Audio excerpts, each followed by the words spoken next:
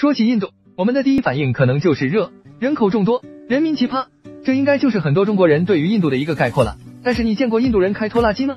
网友表示，不愧是开挂的民族，这技术不会游泳都不敢这样玩。其实，印度的经济条件是比较差的，所以在国内如果需要运送什么物资之类的，那么首选的就是摩托车和拖拉机了。而印度人开拖拉机和我们国内有个不一样的区别，那就是印度人开拖拉机那是真豪放。就比如这位大哥开拖拉机的时候，由于拖拉机是后轮驱动，而且后面绑了一个大家伙，这也就导致在开车的过程当中，整个车头都是翘起来的。但翘起来的车头并不影响印度老哥，他们还故意将车头翘起，然后拉了满满一车的货物在道路上行驶。不过小编就比较纳闷，他们要如何进行转弯呢？转向轮都没有着地，应该只能直行吧？还有位大哥就更加厉害了，直接将拖拉机开入了水里，发动机已经完全被水淹没。不过还好排气管露在水的外面，车子还是可以使用的。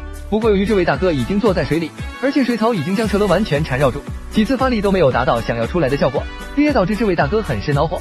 就有网友表示，在印度如果不会游泳，是不是连拖拉机都开不了？别的先不说，小编就比较好奇，这位大哥是如何把拖拉机开到水里面的？到底是要干嘛呢？看完小编给大家的讲解，印度的经济相对于我们中国来说确实是比较差的，而且由于他们奇怪的种族制度，贫富差距也变得越来越大。这样的生活条件下，人民给人的感觉当然就是比较奇葩。不过还是希望整个印度快速发展，能够追赶中国的步伐。虽然很多印度人都认为自己发展比中国要好得多，